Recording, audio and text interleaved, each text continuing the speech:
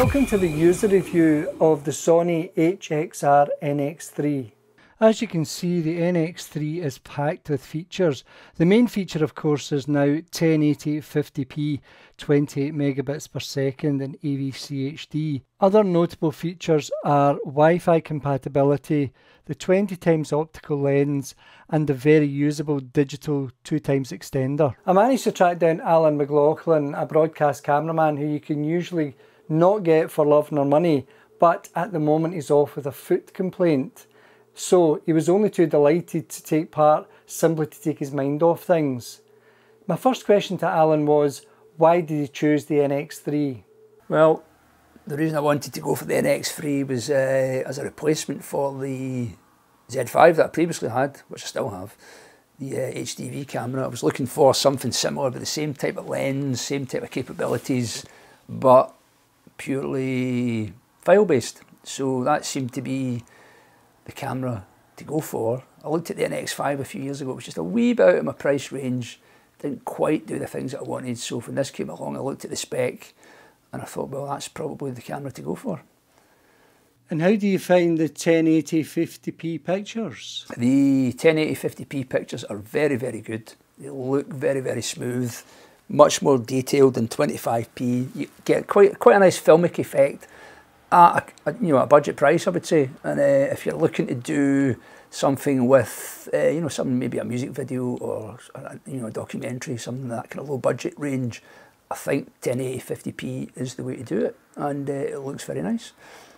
As an optical zoom, what do you think of it? Optically, I think the lens on the NX3 is very very good.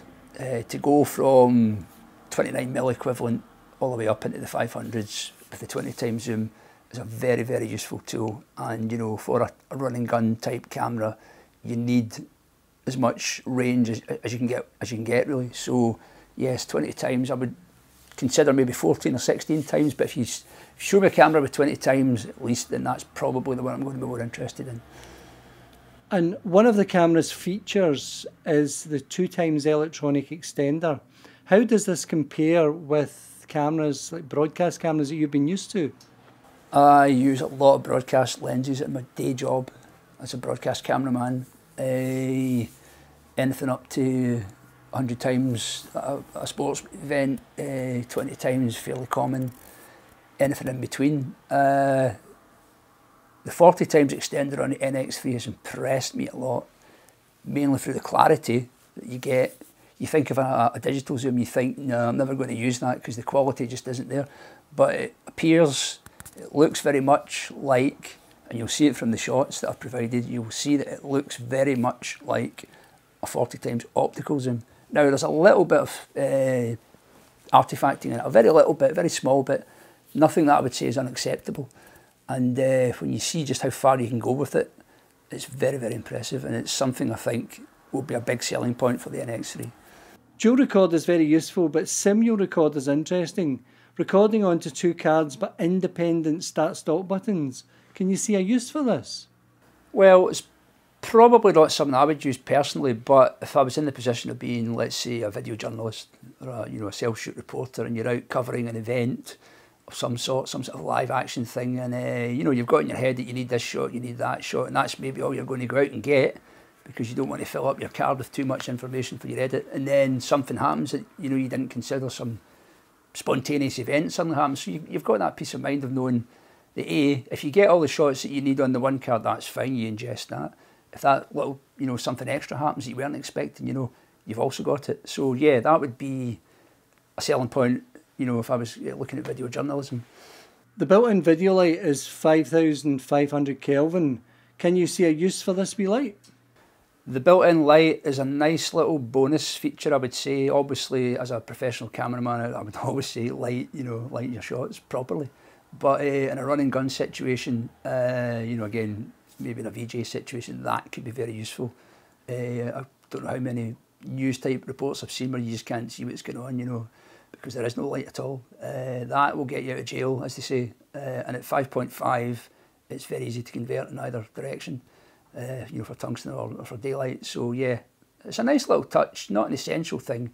The only thing I would say about it is uh, if you are using the, supplied microphone, or any uh, extra microphone, you will get a shadow from it. So you have to be you have to consider that. But yes, it's, it's certainly worth having. ECM, uh, ECM VG1. It comes packaged with the camera, I believe, only the EU and the, the UK edition. I don't think you get it outside those those territories. But very a very good microphone, uh, very uh, broad range of frequencies. Very neat. It's very neat. Uh, the only thing I would say about that again, and I mentioned earlier, if you're using the front light, there is a risk of a shadow from the mic, so something else to bear in mind. You use the front light, you Yes, do sort of you do here. get a slight uh, shadow coming from the microphone.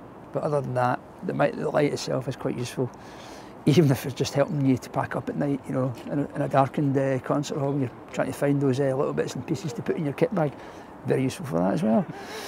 The camera has Wi-Fi. Have you paired it with your phone or Android unit? I have paired the camera with my Android tablet, my uh, Google Nexus 7, which is quite useful. Uh, you get a full screen picture. It's very low res, to be honest, so you couldn't really use it as a, as a detail type monitor, but you can see what's going on. You can also iris the camera with it.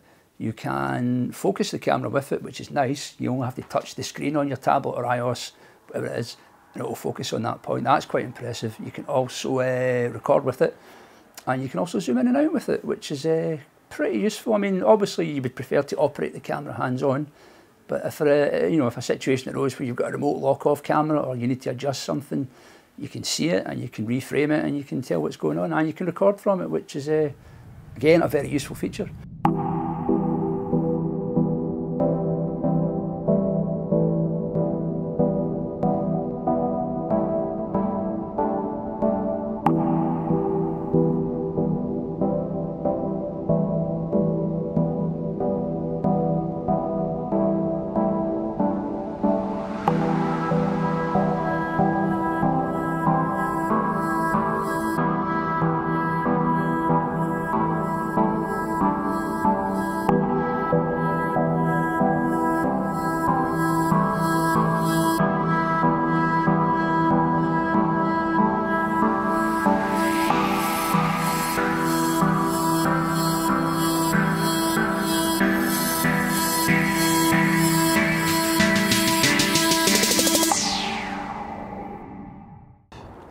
Paired the camera up with the uh, Sony Play Memories app, which allows me through Wi-Fi connection through this uh, Android tablet that I'm using to control the focus of the camera, uh, the iris.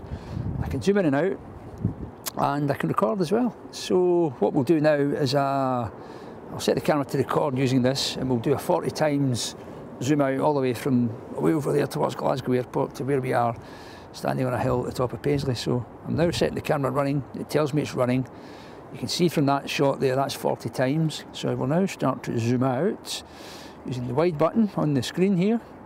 There it goes, hitting it pretty fast. It's coming out all the way, all the way. And just when you think you've got there, there's even more. There we are. That's the, the full width of the, uh, the zoom. So we'll zoom back in from uh, approximately 29 mil all the way in to uh, the 40 times clear image zoom. That there is the airport, car park at Glasgow Airport, which is about two miles away from here. Uh, I'll just hit the focus button. If I tap the screen and select a focus point, there it is. That will now come into focus. Uh, I can tap the iris control and select an aperture by scrolling along. That was uh, at 2.8, let's go to F4 for the sake of it. Tap that and that re-exposes the camera. So it's pretty useful in remote applications if you had a locked off shot, maybe at a gig, something you were doing with an extra camera and you just wanted to monitor it and uh, also control the camera. That's a very useful function. The only thing I would say about the image quality is it's very low res, so you're not really going to use it as a high def monitor, but uh, it's certainly very useful. Uh, it's a very sturdy head. What you do need, especially if you're going to use the 40 times clear image zoom extender, is you need a very solid head because uh, obviously at those kind of focal lengths, any slight wobble or buffeting from the wind, you're really going to notice it, and you'll see it in some of the shots I did last week with the uh, the old 501 head. You know, it's great. It's fine for the 20 times range, but Once you get into 40, you do need a wee bit more, a wee bit more just to, you know, to give you that solidity. So bear that in mind as well. You may need a, a slightly heftier tripod head to use the full uh, 40 times zoom. You, what do you use the most, the viewfinder or the LCD? I tend to use the flip out screen more than anything else, purely because it's a bigger screen than the, the little uh, viewfinder on the back, the little eyepiece, and uh, you know there's more detail there. It's, it's much better for uh, focusing and you know assessing exposure and colour, etc. I have used the uh, the eyepiece on the back from time to time. I don't really like it. It's just a little too small for me, and uh, I don't really see that much detail in it. But yes, there are situations where you have to go that, you know, you have to go down that, that end, and uh, it's okay. But I prefer the screen. I'm not a big fan of these little LCD viewfinders. They're not really detailed enough. But yeah, you can certainly work with it. You can assess focus, you can assess exposure. It will do. Uh, it's not perfect, but you know, for the price point again, and you have to have to keep re-emphasising that yeah, what you pay for these things, you have to compare that to what you can pay for other things as well. You spend a lot more money and get a better quality viewfinder, but this is okay. It's fine. It works, and uh, you should get the results you need from it. How did the camera perform in low light? Uh, I ran some tests in low light just last week. Uh, excellent, I thought. Uh, ran some shots in darkness with some bright subjects in the foreground, lit buildings, etc. Riverside scenes, shimmery lights and things, colours. The colours were excellent, I thought. In darkness, you know, I was, I was very impressed with what I was getting out of the, out of the camera colour-wise. Detail-wise, very good. Exposure-wise, I was fairly wide open most of the time not zooming in too much, obviously, uh, to keep the light levels as high as possible. Uh, very, very impressed. Uh, zero dB is very, very good. I think you could probably get away with about six or nine dB as well, and it's still fairly useful and not too noisy. Anything above that, obviously, you, it will look noisy, but I think compared to previous models, uh, predecessor cameras of the NX3, comparing the noise on various gain settings, I think you'll be quite impressed with what you're getting from it. Is there anything you don't like about the NX3? What don't I like about the NX3? Well, it's the basic sort of things, isn't it? Where's the battery, Sony? You know, where's the battery charger? You don't even get a strap anymore, you know. A strap's very useful to me. A strap is a simple thing. You can go and buy one, obviously, but you know, it's just that thing. Why isn't there one in the box? Where's the battery? I think if I was, if it weren't for the fact I've used Sony cameras in the past and I already have batteries, already have chargers, I may have been tempted to go somewhere else, you know. If I was looking at a camera in that price range, I might be looking at JVC, I might be looking at Panasonic, I might be looking at Sony. And if I see a camera that doesn't even come with a battery, I may be tempted to, to shop elsewhere. That's the only thing I would say, Mr. Sony. From a professional point of view, would you recommend this to your peers or who do you think the camera's aimed at? From a professional point of view, as a television cameraman, I would suggest it's probably going to be quite popular with the VJ type market, as I've already uh, mentioned. Uh, it's a very good run and gun type camera. I would suggest that maybe if you're doing maybe the sort of 35mm sensor type shoots, you know, if you're doing music videos, corporate videos, and you want a sort of backup camera, a second unit, it would be excellent for that. You can get some very nice progressive pictures out of it, as I've said.